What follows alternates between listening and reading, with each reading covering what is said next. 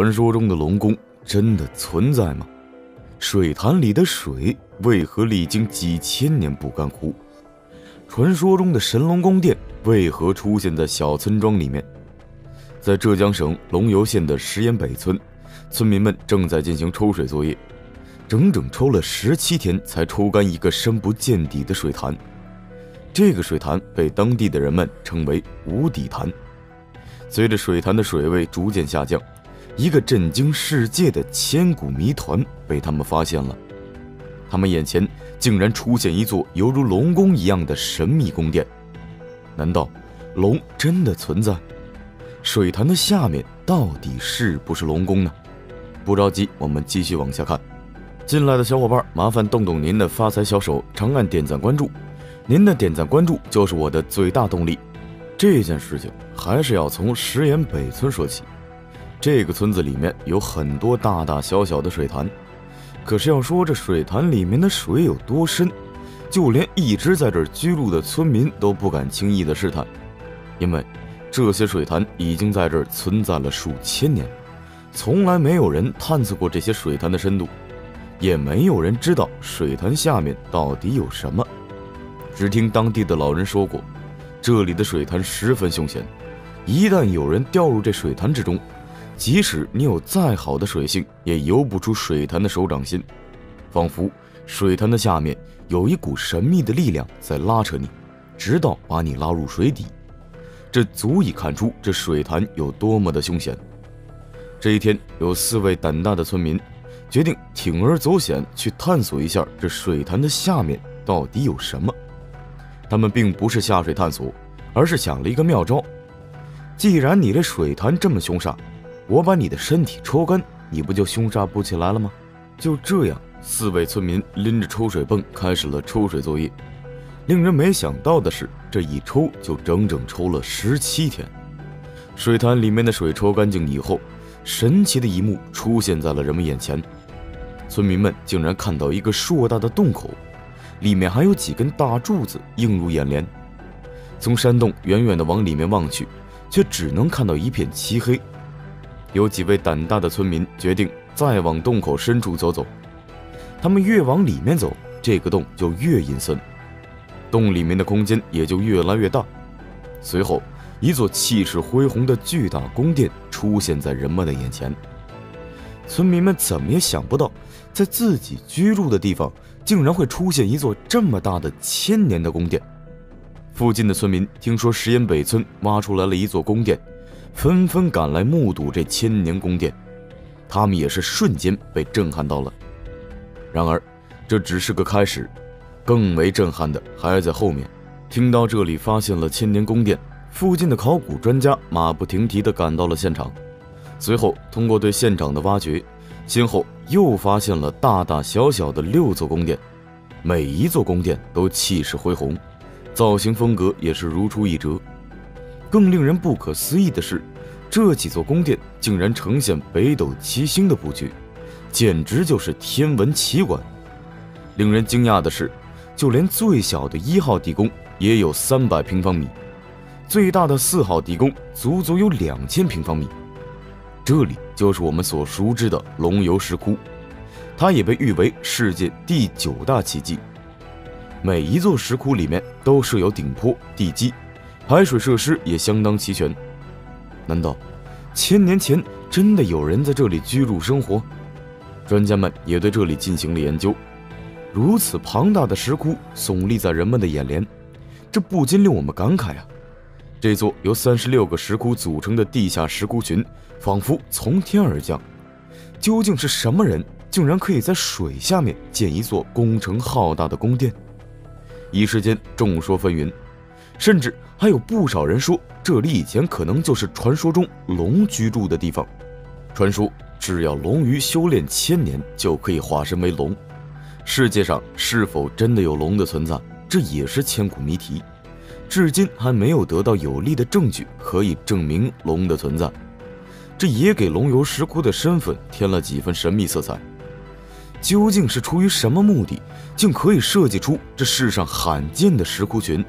专家们也是翻阅了很多的历史材料，也没有查到关于这座石窟的一丝记载。那为什么规模如此庞大的工程在历史上没有一丝记载呢？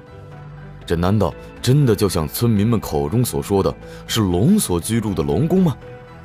这究竟是为什么？就在文字线索被中断的时候，专家们发现了石窟内壁上出现了有规则性的花纹。这一惊人发现再次吸引了专家们的注意。洞内墙壁上的花纹越往里面走就越大，分布的也很均匀，几乎是石窟的每个角落都可以看到。但是四号石窟却与其他的石窟不同，它墙上的壁画花纹越往里面走，分布的越宽。专家们认为这肯定是人为建造的，虽然没有相关的文字记载，但是他们认为这或许是某个国家在这儿秘密建造的防御工程，主要还是用于藏兵力的。相传明朝皇帝朱棣曾秘密把军队藏于此。那如果真的像专家们猜测的那样，这些石窟都是用来藏军队的，那现实中又是哪个朝代的人物能在石窟里面大规模藏兵呢？专家马上对这一猜测展开调查，查阅了当地的历史记载，果然一个比较有代表性的人物出现在了专家的眼前，他就是赫赫有名的历史人物越王勾践。春秋时期的龙游县，恰巧被周天子奉为诸侯国的故迷。这个时期的越王勾践战败，被抓走后受尽了折磨，因此在他回国后，全国上下都渴望可以一雪前耻。但是，要想有一支强大的军队，就必须有冲锋陷阵的士兵，这也就必须训练这些士兵们。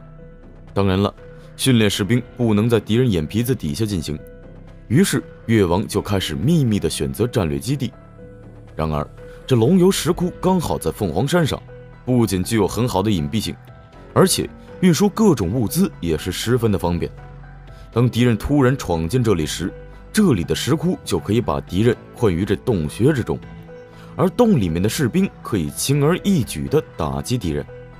可以说这里是不可多得的藏兵宝地。但是，后来经过专家们的推断，这墙壁上的花纹和这些军队没有任何的联系，很可能只是用来排水用的水槽。当专家们打算对石窟的各个通道进行图解和分析的时候，发现了。这些石窟存在很多不合理的设计。这石窟要是用来藏兵的，那为什么没有设计撤退的路线呢？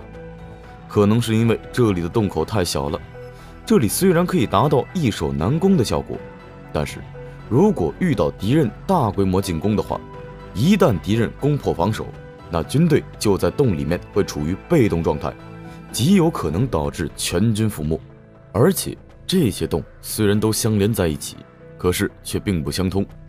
敌人如果采用火攻或者是水攻的话，那么藏在洞穴里面的士兵将无处可逃。那之前推测在石窟里面藏士兵也就不合理了。如果不是藏兵，那这么大的一个工程到底是用来干什么的呢？耗时耗力的打造出这么一个伟大的地下工程，会不会是哪个皇帝秘密打造的宫殿呢？这个时候，在二号石窟考古的专家又有了重大发现，这里竟然有人类生活用的器皿，这也证实了这个地方曾经是有人居住过的。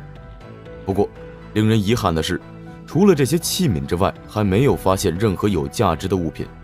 然而，这些也并不能证明这里就是王室宫殿。除了上面的这些发现之外，洞里面的一幅画瞬间引起了专家们的注意。根据记载，我国古代的一些至高无上的统治者都会为自己修建一座宫殿陵墓的。秦汉之后讲究图文壁画的装饰，那么这幅画会揭开这座石窟之谜吗？根据专家判断，这幅画要晚于这座石窟的建造年代，所以陵墓这一说法也就说不通了。随着对石窟的深入探秘，这谜团反而越来越大了。难道真的有龙的存在？